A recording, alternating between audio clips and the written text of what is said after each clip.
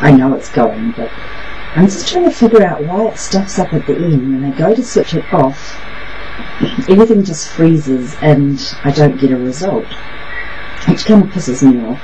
I don't like Logitech very much. but there doesn't seem here anyway to be um, much choice. Um, I've been home for two days with the flu. Oh, nobody to look after me. But I'm. I'm fine.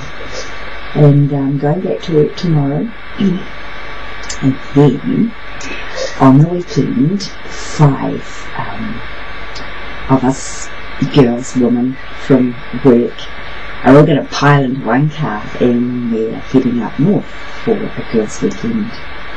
Wait. Which will be interesting and no doubt a shitload of fun. I've got my bottle of vodka, good Russian, standard Russian vodka.